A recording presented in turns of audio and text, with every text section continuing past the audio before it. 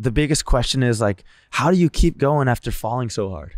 And it's like, I think it's that goal. I think that's that step that you have, or that line that you have to cross to. It's when you realize like this is what you want. You know, like I want this despite those injuries because I know they're gonna happen. I've had them happen before, and I've only come back stronger and more addicted to it. You know, and it's it's what what's kept me riding, man, for the last twenty years. Really, it's crazy.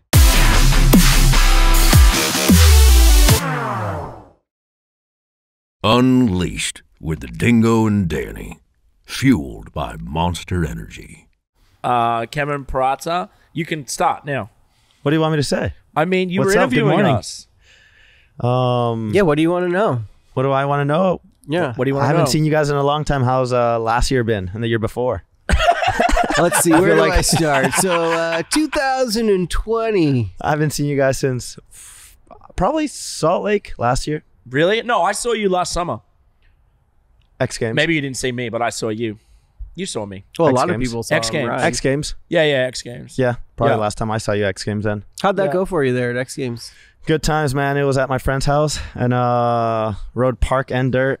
Ended up taking fourth in dirt and then winning park, which was incredible. It's crazy. So you got one got a gold medal, one no medals. Poke medal. Is fourth like is fourth like the the first technically the first loser at like an X Games? I think so. I mean, because they say second place is like first loser, but I was always really stoked on second places. I think podium is winning. Yeah. I think in general, I think being top three is, is great. Yeah. fourth's tough because you're like, wait, should I be in third? Should I not be? But it's only tough if people like say you did like you should be above Yeah, yeah. in a way. Judge politics, but I had a good time. Yeah, fourth was cool. You know, I'll take fourth any day. At an X Games, just being there's winning, so it's sick. Yeah. It's so sick. Danny Danny's really good at getting second. Yeah, I have like 12 X Games medals or something, and I only have one gold one. That's crazy. and that was my first one. that was your first X Games. You got gold. And it was like the coolest thing ever because that was like the first time I really like met Tony Hawk as a professional. And he knew my name, and I was like, "Whoa, you're That's Tony! crazy. Like, I've been watching you skate forever." yeah, he still knows your name. Yeah, he might have forgot my middle name. Scott say my name, say Daniel my Scott name. Kass. That's right. I remember it. yeah. Born on September 18th, 1982. My little brother's 18th as Is that well, right? September. No, it's the twenty first. 82? Oh. Eighty two. Fuck! God But damn you it. got the eight in there. You know what I mean? That's funny. Do you remember your wife's birthday? You just got married. Kevin Yeah. Bronson, everybody, BMX legend in the house. Oh, we I haven't- started. Yeah, we started. Yeah. Oh yeah. Do I remember my wife's birthday? Yeah. Yeah. Or middle name. Uh, all we want the full birthday. Yeah. Full birthday? First birthday. 28th of October 1993. Dang. She's a Halloween baby. Wow. It's sick. All of her birthday parties always been Halloween. Yeah, I got married um middle of October last year.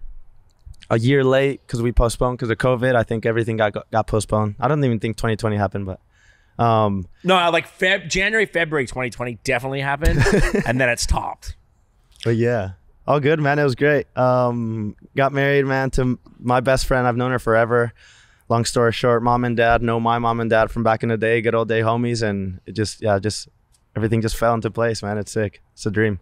That's pretty cool. That's I saw it on the Instagram. Where was the wedding? The wedding was in San Carlos, Sonora. It's an hour away from where she lives, where my mom and dad are from, in Hermosillo, Sonora. It's this beautiful little beach town. Water's like 75 degrees. It's nice to go and you don't need a wetsuit. You know, there's cactus and the saguaros that surround the the ocean, man. It's it's pretty special, man. I think um ecosystem down that way, the Sonoran Desert's beautiful. So more than happy to have our wedding down there. It was it was great, you know. That's incredible. So Danny's got some questions. Yes. No, no, no, no. So he's like, does he get married? Does he not get married? You know, How do you know when you found the one? How do you Yeah, like how do you know? Did your parents tell you it was the one because you guys knew each other for so long? No, no. I mean, it just came naturally. You know, I never. I always had a crush on her. You know, she was always super cool, very confident. is she older than you? Uh, one year, That's Oh, tight though. That's really yeah, cool. that's cool. and so it's super cool. She always supported me beforehand. You know, her her dad actually owned a skate park in Mexico before I even started riding like BMX freestyle. So she she always knew about the culture. I mean, I was very lucky to to not only be really good friends with her, but then just just have that moral support before dating, and then dating even more. You know, and um, you just know, man. I think it's sometimes it, you know, life just just puts you on that path, and it just happens. You know, and Mm-hmm. supporting have, having someone to support you man daily in your best and, and in your worst days you know is is what it's about man and so when you know you know and um You knew. i knew straight away yeah I feel like I would have known a little sooner if my girlfriend's dad owned a skate park. I mean, I don't have you know, done some he research? You know, What's he built? uh, he's built a really cool river raft. Oh, that's all right. he's that's like a pretty dope. full river culture, Colorado style. So River culture. yeah, Snowboard, ski, skates culture. That same, same, same. same thing. I mean, that's Colorado culture, right? yeah, You got to build a raft. that's right. You got to build a raft. Got to build a raft. uh, so he, you, your father-in-law grew up skateboarding. um more on the bmx line but he was always all about al- always about the culture you know he he made uh he was like doing like festivals like organizing music festivals and then started his like own screen printing shop and own boutique store and then just obviously with the music and the culture he was a big metalhead as well and that's why he knew my dad and then long story short they just all collided into this bmx and skate culture that wasn't that very big in, in the city they grew up in. So he tried bringing a skate park into the city that no one knew about you know and um it, it didn't stay open too long just because the culture wasn't as big in the city but he was always so ahead of his time man. So it's just, it's just crazy man the whole culture that just falls into it with with music and lifestyle and how you dress and everything. So But your dad was a your dad was a BMXer too, right? yeah so my dad grew up riding probably eight years old you know? And he raced. he raced but because bmx wasn't as big in the 80s especially in mexico it was more of a it was more freestyle you know? They just built these tracks like in in random little like empty lots you know? And it was more like dirt jumps you know? It wasn't really a racetrack. And then i think he even did a few missions down south to mexico city and in other major cities to try and race but it was never that big in the 80s so he just did it for fun really man so all the photos that i have of him and all the archives man it's just a bunch of like thrasher styled like bmx photos from back in the day it's super sick That's sick. So wait, so your f- parents-in-law, your parents, pa- parent-in-law, parents, Parents. Yeah, parents-in-law, parents-in-law, in-laws, your in-laws. Is that In-laws. what you just say? You say in-laws, right? yeah In-laws. So your in-laws and your parents knew each other. yep They grew up together. same city. My mom literally lived like a few, maybe eight houses away from my wife's mom. So my mother-in-law, uh, her, yeah. So my wife's mom probably lived on the same street, you know. And my mom's sister was a big metalhead as well, and she was best friends with my dad and that crew of dudes. And and then obviously my wife's dad was in that same group of dudes, and just homies, you know. They just all knew each other. How did you and Itzel meet each other? like three or four years old. No babies, way. babies. It's crazy, man. Mhm. Like we, like I said, we've known each other for for life, man. And so to have that relationship, not only with with her as a friend, but then also know her parents from the beginning of time, man. It's super cool. So there's always been that confidence and that respect. And, and obviously that love, you know. So it's just been cool to to experience that whole thing with them as well. You literally are best friends. Pretty much, yeah. That's wild. I've never heard a story like that. it's pretty Have you? special, man. I mean, I've I've, I'm sure there is. I've seen some stories like that maybe on TV or but never really like heard it. But also what I gathered out of that was it took them like almost 18 years to figure out. Right, they were yeah, the yeah, one. yeah, you You know what I mean? yeah, it was always so weird too. It wasn't just like an overnight thing. It didn't happen No, in two or three years. Yeah, like I, I didn't start You know? dating. We didn't start dating Yeah. until like 2013. You know, I was like I was like 18. She was in college, like first semester of college. Uh huh. That's when I was like, oh dang it, she's in college now. Like sick. like oh, I've always had a crush on her. You know, like this is the time. Like I either have to tell her how I feel now, or she's probably gonna fall in love with someone else. You know, and yeah. I at least want to you know Mhm. uh, throw my shot and make you know at least tell her how I feel, man. And long story short, man, it's it, it, now we're here. We're married. It's crazy. That's wild. So, and you guys never hooked up as kids? No, never, never. no, never. What? I'm sorry, I'm just getting some looks from around the room on that question there. You guys weren't thinking it?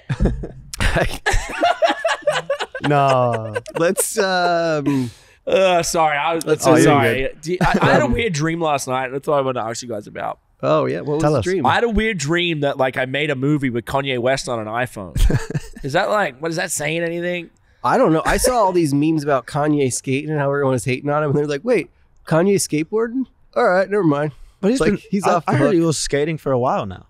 Little But, um, Wayne skateboard. Not from the footage I saw. It looked It's pretty probably recent. just cruise. It Anyone was- can get a board and cruise though. You But know, he so did it's- cruise across the skate park. that's in what I considered skating and now, then I went guess. up a bank, Like and then, recently? and then like got off successfully. Oh, that's right. cool. That, is that skating? Yeah, That's Yeah. skating for sure. Dropping in on any tranny and Oh, yeah, I mean, a park. That's like he's the making an effort. But do you have It's do you dream at all? Yeah, I dream all the time, man. It's crazy. Do you remember Sometimes your dreams? Sometimes, yeah. Sometimes they're super vivid and it's almost crazy. I wake up and I'm like, "Well, that was that was too real." Uh, Or I'm like still thinking of what I did the day before, and I just dream about it. Or music, and I or I go to bed listening to the same song in my head, and I wake up to the same song in my head. It's crazy. do you do you do you go to bed listening to music? No, no, not usually, but like I'll have a song in my head, you know. Right. I used to listen to music as a kid going to bed, and I used to listen to Stairway to Heaven, and I would go to sleep to it. Oh, that's a great song to sleep to. Now, is that weird though? Like, No, because No? you're sleeping I mean, and it's- dreaming. you vibe to it, you know. yeah, if I it, guess if it keeps you at peace, you're not at ease, you know.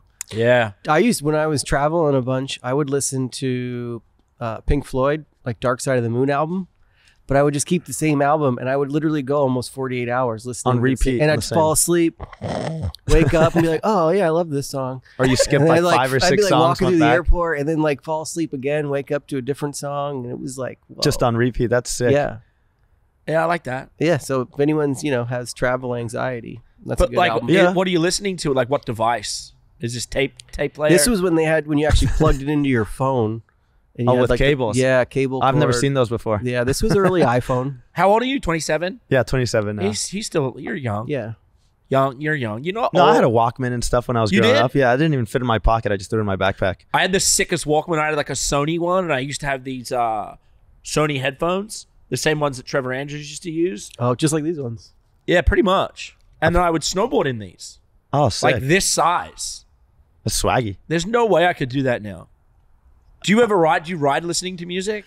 Only when I'm by myself. I try not to zone anyone out. It's always like a, a vibe killer, is what I say. But if that's what you're into, then no, no worries. But I like I like having music on speaker and stuff. You know, it's sick. Yeah. A little bit of everything. No, nothing Yeah. special. Depends on the mood. And are you a metal guy also? Yeah, everything. Nice. Yeah, my dad grew up. I, I mean, I grew up on Iron Maiden and Sabbath. You know, and my dad's like covered in like Maiden tattoos. And Is he really? That's so He's all he's a huge metal. I think my first concert was like Anthrax and he- Death Angels or something crazy. I was like seven. We've been trying to get Anthrax on here. They're monster guys. Oh, that's sick. Yeah, I actually seen that. Yeah. Scott Ian, he's always he's always repping. They said he'd come on, but where are you, Scott? No, that's sick though. But that was that was one of my first concerts, you know. And as a kid, it's like I'll remember those for the rest of my life. Those memories are sick. You do remember that for the rest of your life, and it kind of like I feel like it kind of it kind of sets the bar for like what you're gonna be like. My first concert was a Metallica concert, and like I feel like I'm still kind of they're still kind of there. I mean, you look like you could be an offspring of James Hetfield for sure. Just a little. You think? Maybe. You think I could be like his child? I don't know. I mean, he's definitely played in Australia around that Could time. be cousins. He's an chart angry, out the. He's an angry the dude. dates. Though. I'm not an angry guy. really? I think he's a pretty angry dude. You ever watched the documentaries on them?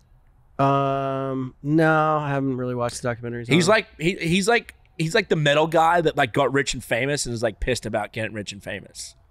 really. Yeah, that's that's what I take from it anyway. Yeah, different story though. Well, I mean, hey, you're like you're making this music. It's not like you're doing it just to be noticed by people. You're Yeah. doing it to like let out some demons within your own right. Yeah, it's a mind you know, passion. You know. passion. You know. Yeah, Iron Maiden's sick though. Do you still listen to Iron Maiden? Yeah, here and there. It's one of those like I have I know every single song You that they've do. ever made, you know, but I don't listen to them all the time. But like you know what I liked about Iron Maiden back in the day with their graphics. Dude, the graphics are so sick, Dude. and then their shows are insane. That's So, what like, I was their- gonna say. Their shows. stages are insane. So like, I would be more hyped to see like what stage they were gonna build or what crazy. You see that jet? Dude, the jet's insane. The jet's and then sick. it's like the story behind it all, like he, full on pilot, man. It's crazy. They fly their own plane around. Yeah, but my dad's a huge fan, and, and same with you know it's it's Sel's dad. She she he's like a full on like, like I said, they're full on metalheads, and they're all about like I think they're on tour right now, and he's all talking about like coming to to San Diego to visit us and going to the concert and stuff. So it's sick that it's still it's still happening. That I think that's why my dad moved to the states was because he wanted to come to all the concerts. You know, What year did he move to America? probably eighty nine. I'm saying Eighty nine. It's my brother, older David. I mean, my other brother David. He's from ninety one, so just right before ninety one. You know. How many brothers do you have? I have three brothers. Older Yeah. brother David, then there's me, then Victor, then Eddie. All born in America. Yeah, all born in Tucson, Tucson, Arizona. And then your wife was born in Mexico. Yeah, in Mexico. Yep. you competed for Mexico. Yeah, here and there. I think, especially now with the Olympics, there's you have the choice to represent um, either country. You're, you're, you know, I have dual citizenship, so I, I've always been very proud of my Mexican heritage as well. And then going to overseas events or, or inter- international events and not seeing one Mexican athlete out there, I thought it was super cool to, you know, slowly start bringing that that that flag up up there, you know, or, or whatever it is, and, and just the fact that it can inspire other kids from Mexico to to make it eventually, you know. I think that's awesome. You know, I think we're seeing a lot more of that. We saw like within skateboarding with uh winning or not winning, getting silver from Brazil.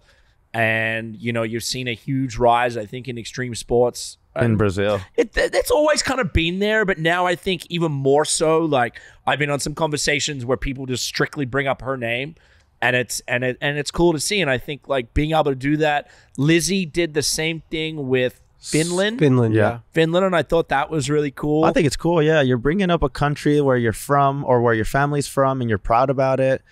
And um, like you said, Rayssa, she's she's from Brazil. She's what 13 or 14. she's young. So she's super young. So not only is she opening up many doors for the sport in the country with with the country supporting it more and federations and all and building public skate parks, but now there's girls skating even more and there's younger girls getting into it now. So she's an inspiration to all these younger girls to to just fall into that next group of incredible athletes that will be around in the next few years. So Yeah. it's, it's super cool, super important as well.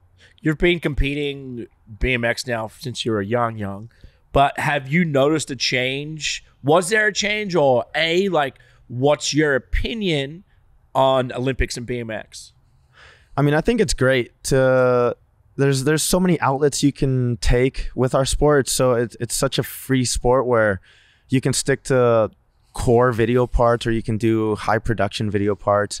You can do a bunch of stuff on social media. You can do YouTube channel, which is what you're into, you know, or whatever you're into.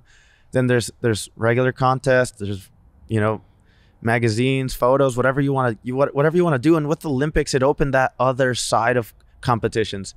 You know, there's core competitions and there's these uh, Olympic Federation contest, You know, where where now it's not only going to be a more household name, but now it's going to be more respected worldwide. Where I can go to a country and I can be not that I wasn't proud, but it's like, oh, I ride BMX, and not everyone really knows what BMX is everywhere, especially in like a small town, or if a cop's like, oh, you're you're vandalizing, you're vandalizing the street setup, and it's like, well, I'm a, this is an Olympic sport now. This is this is my career. This is my profession. Like you can look it up. Like it's now, it's it's more official when it comes to like the regular eye, and I think that's that's given it like a boost as well. You know, and obviously now I was lucky enough to have parents that supported my brothers and I doing what we loved, you know, thankfully because my dad rode, but I have so many friends that didn't have the support from their parents because they didn't think BMX was actually a sport they can make it in, you Yeah. know? So now that it's an Olympic sport, it's not only respected in the world, but now parents can actually see a future in, in the sport for their children, you know? And so that's also very important as well for the sport. Isn't that funny that that that that, is literally how people look at it though? It's like one year it's not in the Olympics, next year it's in the Olympics, and people or families or the way they, you know, it's like your typical dad being like, oh, like your or family trying to say, hey, you need to get a degree to go do this, this, and this, and this, when you could go and not get a degree and Yeah. do so many other things. Um, but just because of the staple of that, that that's what it's been like. But I think like, especially for skateboarding and BMX, snowboarding's been in the Olympics now since 1998. 98. That's crazy. Yeah, first year. And the first year you went to the Olympics is in 2002. Yep, 2002. And then with what happened with snowboarding at that time, Danny was a part of like an Olympic sweep where it was all Americans. One took the podium. Mm-hmm. Snowboarding, I don't even think was really looked at as as as a real sport. And then literally the next day, it's on the front page of USA Today. Danny Ross and JJ are these like Olympic heroes, American heroes. And the next thing you know, snowboarding's like, oh, let's. And you notice from that 2002 to like 06, 08, all these new families, all these new people that came into Yeah. the sport because it's now recognized as, and it cha- changed the sport forever. And it's crazy to see how much it's growing now. You know, even like watching the Summer Olympics last time, you didn't go, right? No, I didn't go. I was only like a few spots away from making it in, but it's crazy how, like you're saying, man, like all these new faces and these new kids that probably didn't even snowboard when you were winning and now that and then their families got behind them because this is what they wanted to do you know and and obviously it gave that that push you know and you can pick or choose if you want to ride the olympics or try to make it into the olympics nowadays which is pretty cool as well a lot, a lot of people were against it and a lot of people were were were with it you know so i think it's cool that you can choose either so Yeah. Yeah, no, it's cool to have it there because right now dirt's not in it, right? But no just it's park, bmx park Just just BMX park. Yeah. And I, I know slowly BMX street will evolve into it because skateboarding street is, but um I mean just slowly and surely, you know. It's the evolution, right? So the next one's in Paris. Is there like uh is there has there been anything I know they do this all pre, is BMX street available for in in Paris or no? No, but I was looking at I was watching a bunch of like propaganda, like a bunch of like ads, and there was a lot of street riding in them. So I think it's whether it's marketing. They may do it a demo. Cool, yeah. So like, if it's marketing and they're just trying to make it look cool and not like in a skate park, then that's what they're doing. But I, I saw a lot of street footage in in the ads, so I was it got kind of got me thinking like, will they have BMX street in Paris? You Who know, knows? and we just That'd be had, amazing. We just had the Winter Olympics. Danny actually coached the silver medalist. Yeah, I got to coach for Again, Team Dan- Spain, which again- was really cool. Again, Danny's good at getting sick. silver medals. and well, it was really cool because um, the girl I coached was from Spain, from Catalonia, in Barcelona. How's your And, uh, Spanish? Uh, uh, poquito, Test it out. Uh, mucho poquito. I don't know. You Very said a lot of little, a lot of little. a lot of little. And uh, No, well, that's cool, luckily her English is is really good, but there's definitely times where we're on the phone and I'm like, we are just not communicating right now. And uh, they speak Catalan too, which is completely different from Yeah. Spanish. Like I don't understand it. Um, but it was really cool because she ended up getting a medal, and you know, obviously, there in Spain, they're really like race focused, you know, and Yeah. thinking of like GS and these courses. But she's the only one to get a medal at the Olympics out of you know the of- 30 people that went, and I just got to watch her like go on this crazy media tour where it's like. She's She on all in it, these talk shows. She was on like 17 different like covers of you know every magazine, and she's like, "Yes, can you believe it? They top they stopped talking about soccer for one week." And I was like, "Oh, this is incredible." That's so awesome. But Well, she's you like, imagine, though? yeah, It's- and it's- now it's so cool because it's like you like you said, you know, the The sport's growing, man, and, Sport's and with girls like her, now more girls are gonna get into it. Not that girls weren't into it, but in BMX and skateboarding, like there, there's, there wasn't that really that many girls contests until just a few years ago. Yeah, you it's know? And crazy, so- right? Are there many girl BMXs? dude so many everywhere bro they're from all over the world like you're talking about spain there's this girl from spain you know that absolutely kills it there's a few girls from out there actually like dude and street riding as well girls in south america absolutely killing it man there's there's actually a jam at the van skate park today that's hosted by a bunch of girls from vans you know and it's Oh, that's cool. the scene's crazy, you know, and it's growing. And I have a cousin, she's riding. She's been probably been riding for three years. She just cruises a skate park, man, and she just gets to hang out with us like we did before before BMX, and now she gets to ride with us. She's just like she's so inspired by all these other women empowering in action sports that w- and, and sports that weren't that big, you know, for women at least. That's awesome. That's huge for the sport, man. And like you said, it's it's growing. And for her, like she said it well, man. They're not talking about soccer, where s- soccer is is a dominant sport in Spain. Same with Mexico and South America. Like right? it's either baseball or soccer, and and so you can find a soccer field in down every neighborhood, bro. But skate parks, it's probably like a handful in the whole country. How do you grow that in Mexico? So that's the goal, right? And so like the Olympics were never part of my career. It was never a goal of mine until they randomly added BMX into it. So it was like, damn, and it's not like- your real profession. You're not really a park. You And- do and- it, but it's I mean, like, I ride everything. Yeah, I've won park contests before, and I've competed against the same dudes that rode the Olympics. yeah. Which I was like, damn, it'd be sick to make it to the Olympics because why not? Because I've it, I've won against the same dudes that are going to ride the Olympics. I've I compete in these events that are now Olympic qualifying events, and I've done good at them throughout the years. Like I might as well try, you know. And and it wasn't like the the the bigger picture was like, what happens when you win? It's like, well, you win, then you win, but then what? Like it's it's what you can do with the medal Wheaties box. for the sport. let alone let alone like let alone sponsors and, they have and way and better Wheatie box. cereal in Mexico Wheaties. They got like a dialed like uh Yeah, who would your dream uh, your dream Olympic sponsor for Mexico be? I don't know, probably like from Mexico. There's Don- these little Don like Julio. uh oh that'd be sick too. I'm not a I'd big drinker, but that'd be sick. Why not? Um, there's these like little Mexican candies called mazapan. These like Uh-huh. little peanut candies, and Yeah. they sell them like when you're crossing the border. There's kids selling like boxes of them, and I'm super addicted to them. It's like like my my sugar of the for the day. You know, it's so sick. That'd be sick. Uh, I don't know. I have no no idea. I Well, let's get your think. face on one of those. You know what I mean? So going back to like helping, like how do you? Because I even know that you're like you're designing or you've designed stuff with California skate parks. Yeah, so uh, that that started like as as as joy, you know, for fun. So I'm riding all these Olympic Olympic qualifying events or just events in general, and I show up to a course and it's so good, but it could be better. The course could be way better if it was moved here and there, if the transition was better here, or if it was less spaced out, or or had a few different features here and there. So that I'm super OCD with little things like that, where oh, this would have worked if it had less coping or more transition here. And so I, it went from drawing sketches on my notebook of the course and retracing my practice runs to perfecting it for the finals. And then to, hey, I'm going to sit down and try and sketch it up on the computer. And I got on this program called SketchUp. It's like a graph, um, architectural design. And I have the free one. It's like nothing too crazy, but What's I started app called? SketchUp, like ketchup SketchUp. Okay, so it's yeah, yeah, SketchUp, yeah, or you can use Revit. It's a little more advanced. It's it's full on. It's it's for architectures, you know, or architects. So how do you? So so so SketchUp is for architects, but you use it for.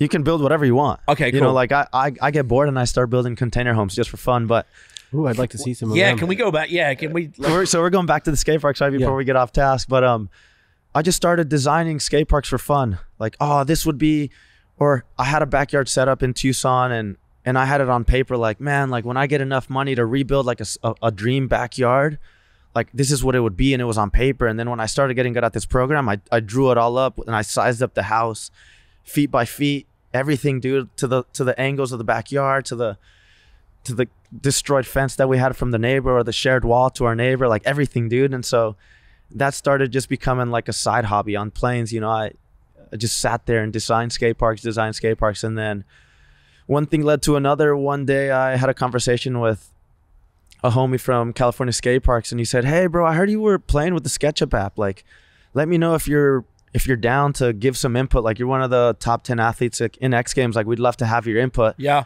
I'm like, I'm actually all right on this app. Like, it'd be sick to help you guys design or move stuff around. And dude, I was on the one-on-one like Zoom calls, like changing features for X Games, you know. And I was like, damn, this is so crazy. Like, this is so insane. Like, I'm not only an athlete for the contest, but I'm also giving my input where it's also like an advantage for me and it's fun for everyone else. It's like, and that's the goal at the end of the day is like, you want everything to work so well that everything just falls into place and everyone has a good time. And it's so hard to please all these different styles of riders. So it's so sick to throw in all these different features, you know, and that's where the where the fun came in for me. And I just sat I just sit there all the time, and it's sick.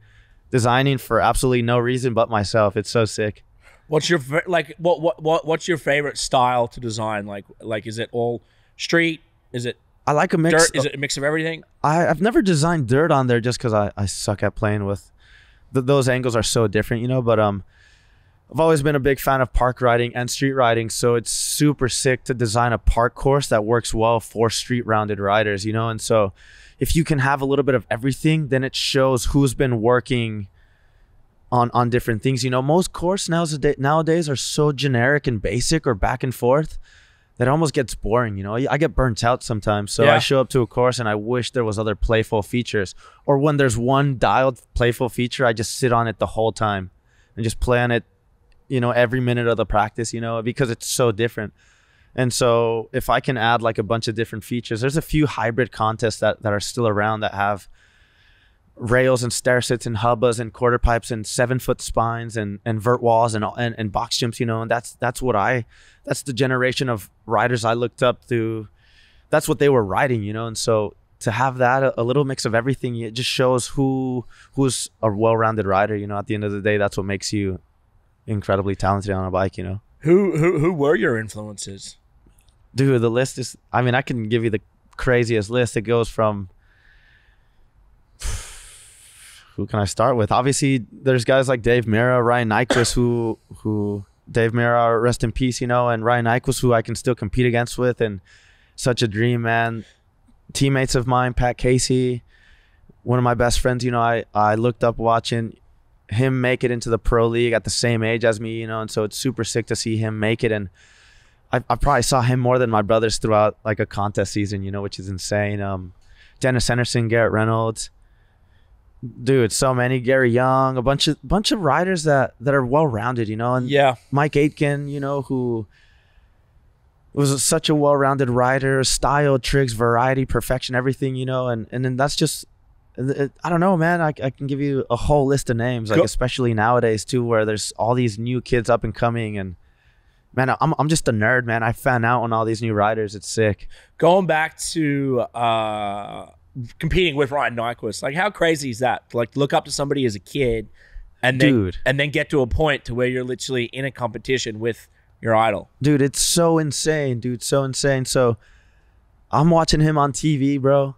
Watching him get medals. He's got like colored goatee you know? He's got like the craziest sponsors and stuff like stuff that doesn't even exist anymore. And he's competing against dave Mirra, one of the best ramp riders of all time. And they're going back and back and forth like battling medals you know? And that's like the most iconic you know generations of the sport you know to to competing with him bro is insane. Like it's a dream come true man. Like i remember going to like a it was like a open invite dirt event and i was like 14 maybe bro. I could barely make it over these jumps.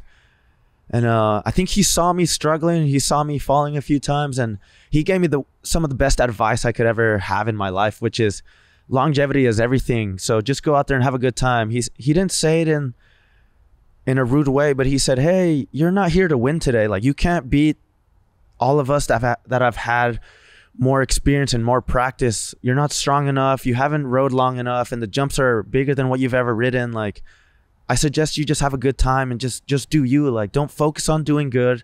Just have a good time and stay healthy. You'll make it into the the pro events eventually, but for now, just enjoy it and and keep your you know keep it rubber side down. You know, and that was some of the best advice anyone could give me was just to enjoy it and and really stay healthy for the longevity of it. You know, and next minute I'm riding one of my first X games in Austin and and he's on the rolling with me, you know, and it's like this is so insane, you know, and he's like, You'll get a medal eventually, you know, just keep going. you know, and, and guys like Corey Bohan, the same. I met him at like BMX jams, you know, and I'm I'm such a fan, bro, and I'm following this dude hit the trail set at the skate park, bro, and like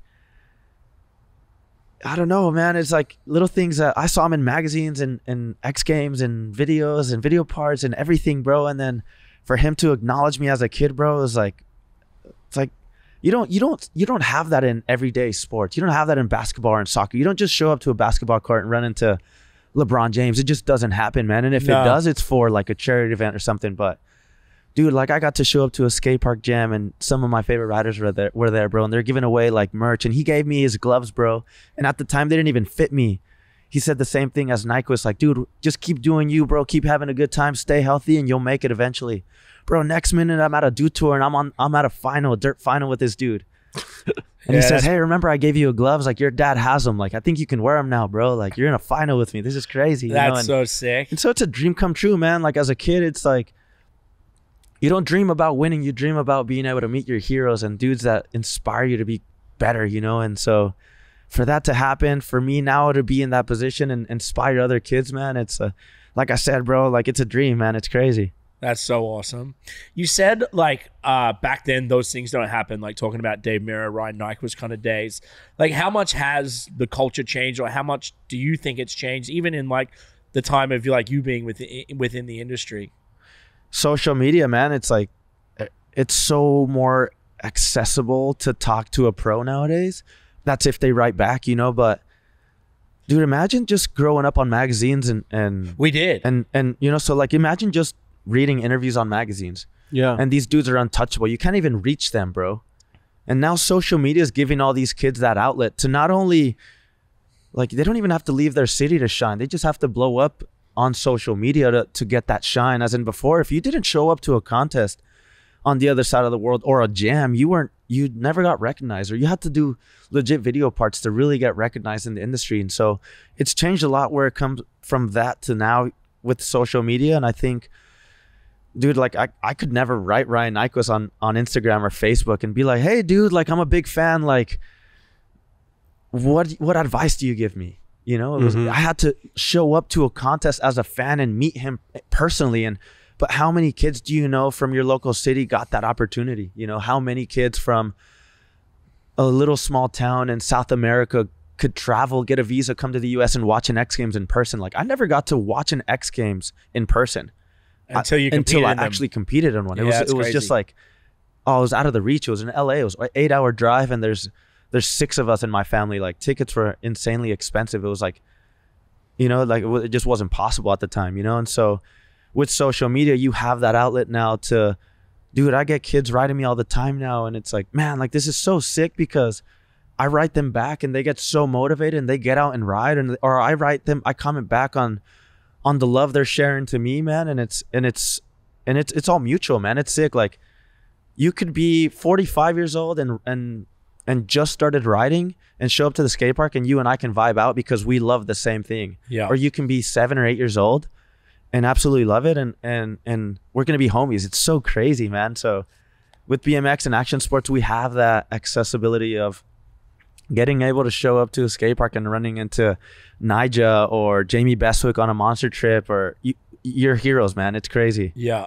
Yeah, it's crazy. I think like action sports has always been very good, especially skateboarding, snowboarding, whatever it be, skiing, BMX. Like there's always been a, an, an outlet to where like the elders will take care of the youngers, the grommets per se, which I don't think happens in, in every sport. But like showing up to a skate park, you know that you're going to be taken care of by the, the local older guys or whatever Of it course. is. And I think that's keeping that generation involved, you know, especially like a pro.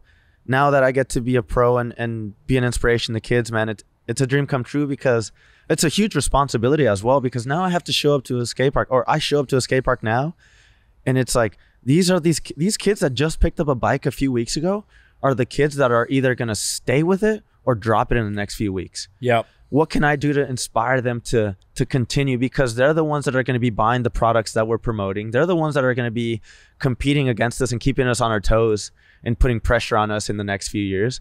And so that's the goal as well to inspire that next generation and keep them involved in the sport. How do you think, going back to what we were talking about earlier, but how do you think like a place like Mexico can do that?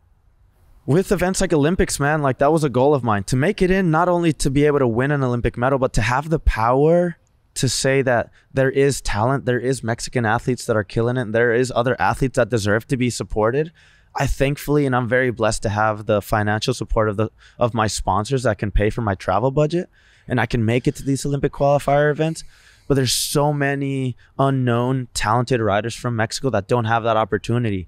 And so the importance of that growing in the country is is I have that responsibility as well or or that's my goal to to push my sport as big as it can get worldwide worldwide or worldly to to have more support for for that next generation you know? And for a country like Mexico that's dominated by soccer and baseball you know I think it's it's important for guys like me to get out there and, and promote the sport in not only a positive way but a, a joyful way you know where kids can have a good time just doing the basic and and just riding you know and, and remembering why they picked up whatever it is they they enjoy doing you know?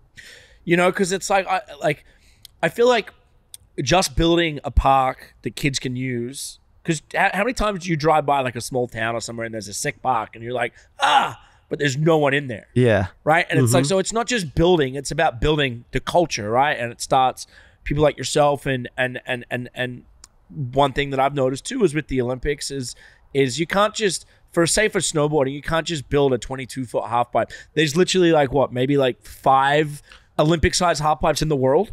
yeah, probably at any moment, right? Maybe three to five half pipes in the world. and not everyone can ride them they're so intimidating. 100 you can't. You know So what i mean? like you and, gotta- and, and then even if you are to get to that level then you've got to be around one of those five half pipes that's to almost be- impossible. which is almost impossible. Financially impossible you go down the line.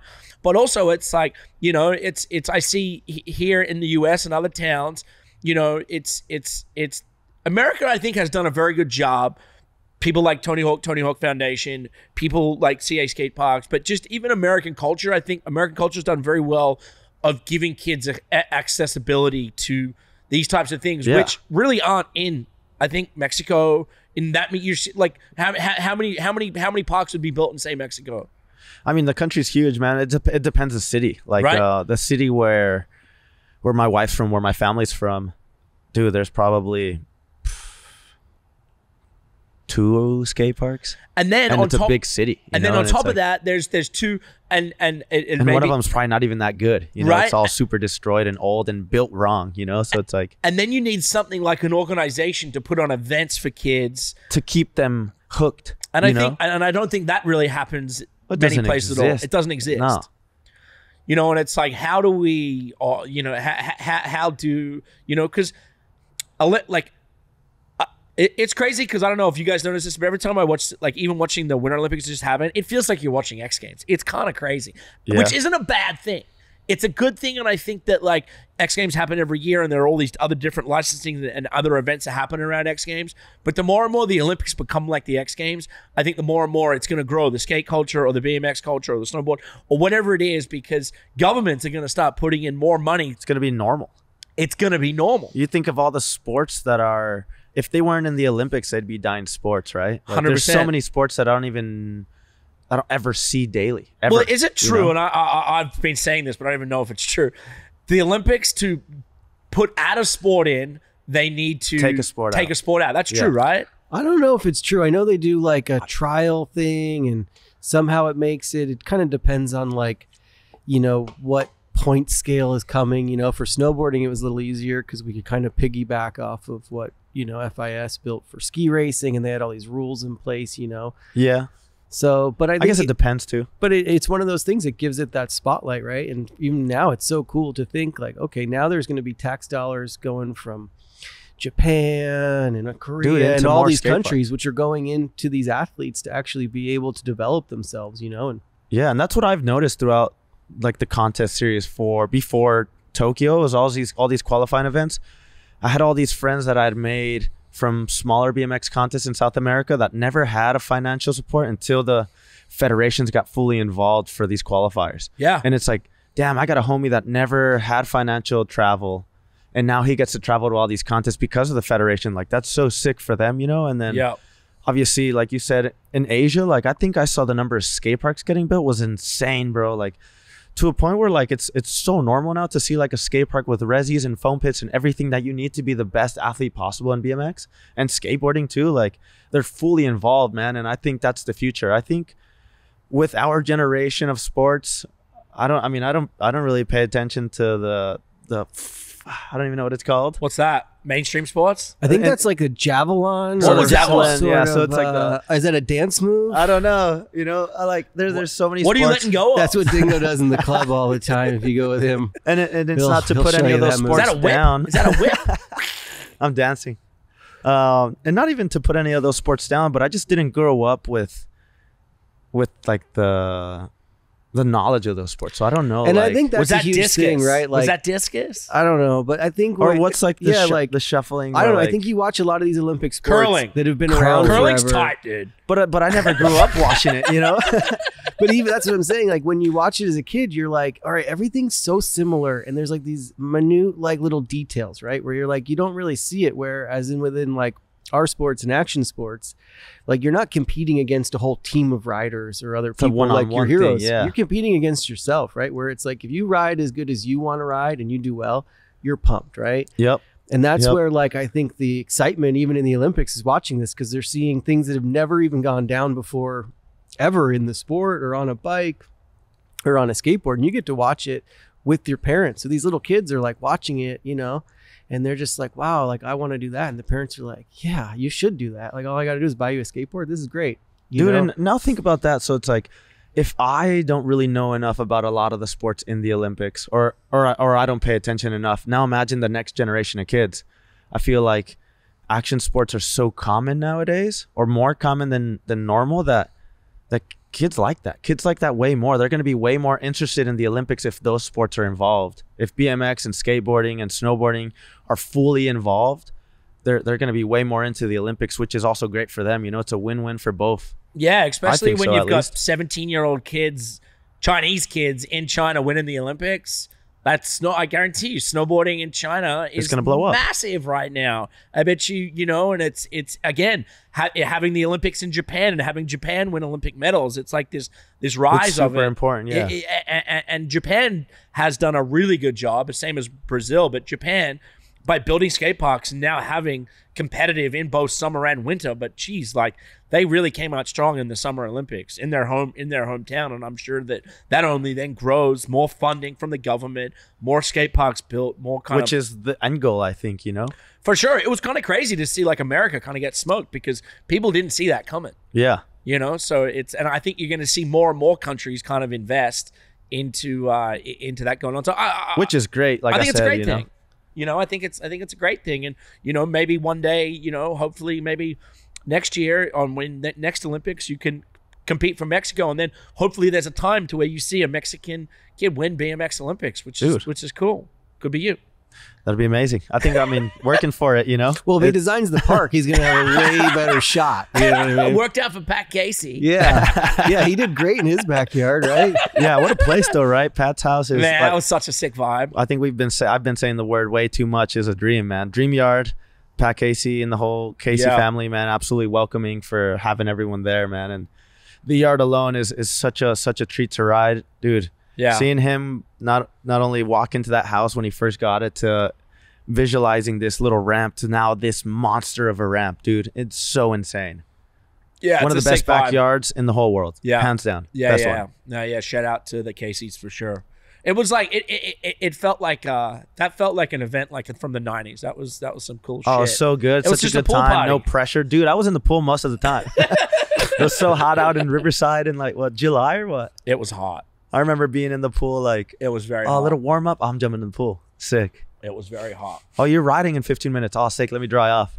Yeah, that's how every course should be. Like, hey, I'll be in the pool until you guys need me. Right? Margaritas You on know? me over there in the pool. Pull up. Yeah, like high diving, they always have like a little hot tub right next to their thing. Well, I mean, they have a pool.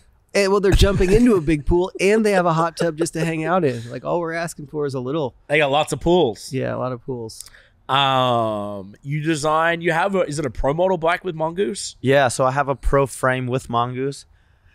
That, What's the um, difference? That pro frame, so you can. Just the frame. So so pro bike would be the whole thing, and the frame is actually just the. How do I get the frame? Because I'm like, I, I actually have a friend in Australia that collects collects. We have like some old mongooses back in the day. Fuzzy Hall was kind of my guy. I looked up to. Dude, Fuzzy. Hall's the shit. And then I had had this power, this P61, which was. I don't know. I think I got it like 95 or something. But my, my, my best friend who got me into riding BMX still has all my old frames when I was a kid. So I want I want to buy one of your frames. Yeah, guaranteed. It's out April 5th, so anytime now. It got delayed with all the transportation over to the to the states, but it's it's out. You know, it's available, and um, it'll be on on the website mongoose mongoose.com. You know, mongoosebikes.com or. And that's your I'll- I'll 1st that's your first design bike. So I had a first a first model with them. They were all U.S. made, and there was only a handful of them. They were a little more expensive than the normal frames, and they were harder to get. And a lot of distros and collectors bought those. Uh huh. but I didn't have that much say. I didn't have that much input on it as far as like the specs or the designs or anything. So it was more or less like, hey, we want to put this pro frame out, but we want you to promote it. And you know, obviously, such such a blessing to have that. And now the opportunity came back to, hey, that did very well, and we only put a handful out. Let's do it again, but we want to have more input. We want we want you to build something that you're happy with, that people can relate to and ride to, and literally buy and say, this is Kevin's frame. This is what he rides. This is exactly what it what it feels like and and obviously full creative control over the designs and graphics that you know that I got to design with my wife as well. She's a graphic design artist, which is sick. So we worked together as a team on that, and man, and we just perfected this this this cool this cool style frame with a bunch of Arizona graphics on there or stuff that reminds me of home at least, you know. And Mongoose was all about it. They even let me like change their patent front logo for the badge, you know, like everything, man. Like full creative control. We're working on video parts and stuff for it, and it's just it's sick, man. It's such a dream. My dad wrote a mongoose when he was 12 or 13. And so when I got on the brand in 2013, it was like it was like a dream come true for him as well, you know. And I got to meet Fuzzy. You mentioned Fuzzy right now. Like I got to meet Fuzzy like not only riding contests but judging a contest. And then we actually did a commercial last year together and he like welcomed me into the commercial. Like I felt like he passed the torch to me, you know. And so to ride for such an iconic brand like Mongoose from from the 70s, bro, like they they they turn motocross, and they turned BMX bikes. They just mimicked it, bro. And like motocross to BMX to I mean to to to mongoose bikes turned into BMX freestyle. To, I mean to racing to freestyle to what it is now. Like yeah.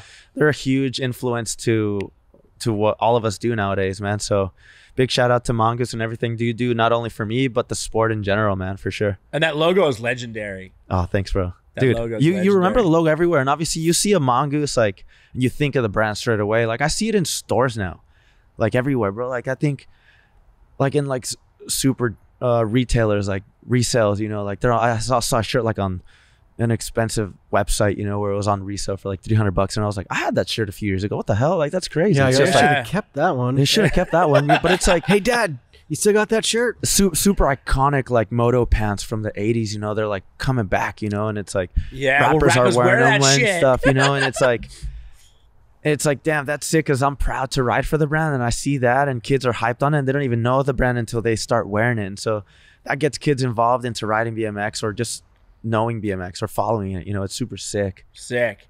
Any uh any like injuries of late? You good? nothing crazy man thank god i've been been um keeping it rubber side down keep doing everything comfortably and and i've been very confident just feeling good man i've been with this incredible strength training conditioning coach in san diego uh, splitting a session with a homie you know and and he's just been keeping me on my feet and working around working around not only the weak points of my body but preventing those injuries in the long run you know and like I said before, I'm such a fan of this sport. I love BMX and I want to do this as long as I can. I know that when I'm 50, I'm not going to be able to do everything I'm doing, but the goal is to to prolong that career, you know. So I've been putting in a lot of work and a lot of hours weekly to to just prevent those injuries, man. So thankfully no injuries from now on or from from here on out, you know, or or what can I say? I haven't had any in. Touch wood. That's a scary one. Knock we, on we, wood, we yeah. always, I always tremble when we ask that question to BMXers because you guys take some serious. I know like, you Yeah, guys when you guys risk. slam, you slam. you slam hard. Yeah, it's a risk, you know, and and I think we accept that, you know, and the biggest question is like how do you keep going after falling so hard?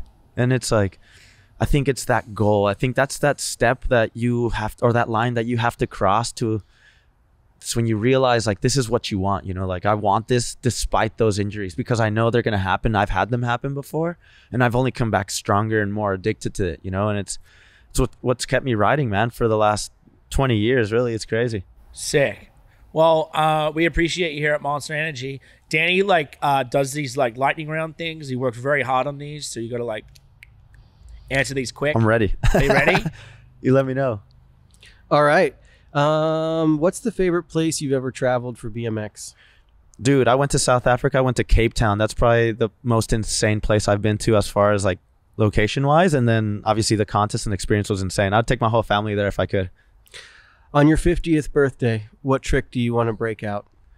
Probably a 540 on the big setup to fakie or something something crazy. you got to do the 540 at 40. At 40, Yeah, okay. That's the thing. I saw that's the dude, I saw a dude the other day, literally the other day. He's 55, Dennis McCoy, still riding X Games, judging and everything. He he 360'd like an eight stair, bro, and he's 55. I was like, wow. hell yeah. That's sick. So that's sick. you So- like riding stairs, hey? Yeah. I so see. like I see a lot of and that on your everything, gram. yeah. Yeah. yeah, yeah, I see you out there. If I'm 50, probably flare. Flip 180 on a quarter pipe. That'd be Just 'cause badass. it's so You're- And wowing all these now. kids are gonna watch you roll up to the park and be like, "Oh, look They're gonna at be this guy like, with the great beard." damn. What? you know, and, and it's sick to see guys like Dennis McCoy. I just mentioned him, man. He's doing 900s and, and he's 50 plus, you know, so that's savage. Um, best skate park you've ever rode? Besides Chandler Skate Park was my local skate park that I grew up in Tucson, I would say Pat Casey's Dream Yard. Uh, gnarliest BMXer of all time. From my generation, uh, Dennis Enarson. What's your go-to breakfast? Go to breakfast, acai bowl, homemade. Bang. Oh, Whenever you want, that's we'll pull up. I got you guys. Okay, cool. Okay. Uh, what's the best part about living in California? the best part about living in California, I would say the amount of skate parks that you can ride or choose from and the amount of people you can ride with because ev- everyone's out here, man. The industry's here. So what better place to be than, than SoCal? And the weather, man. I can't complain. The weather's insane. Um, go-to place to eat in Arizona. Place to eat? Yeah. Probably um I'm vegetarian now, but I used to go to this Mexican place that my dad my dad's homies used to run. Probably the best steak tacos. Um best place to eat. I can't even think.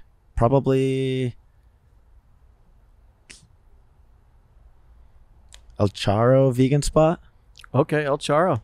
We gotta check that out. I think you guys went there for maybe Dirt Shark was out in Tucson. They went there. Um, do you believe in aliens?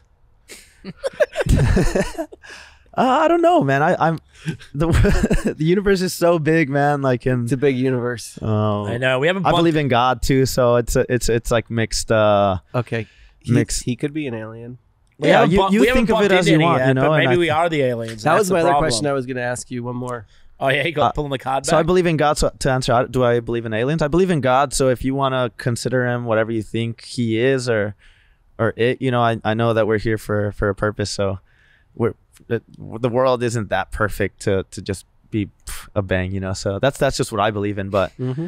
aliens, support life you on that. forms, uh, If I if support. you want to be consider them aliens coming, angels coming from the sky, or God coming down from the sky, and like the Bible says, you know, then go ahead, call it call it what you want. But it's definitely faith for sure. I support that.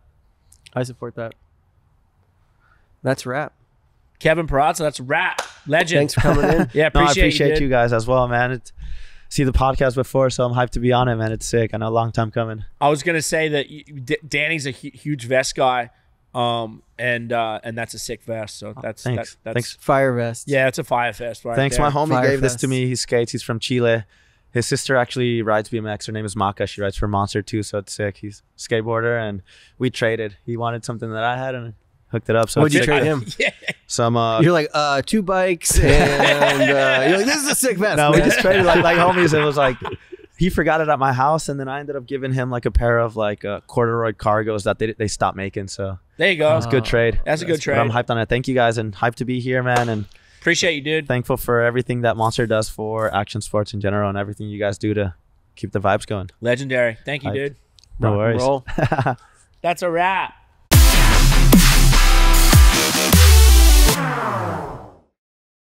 Unleashed with the Dingo and Danny. Fueled by Monster Energy.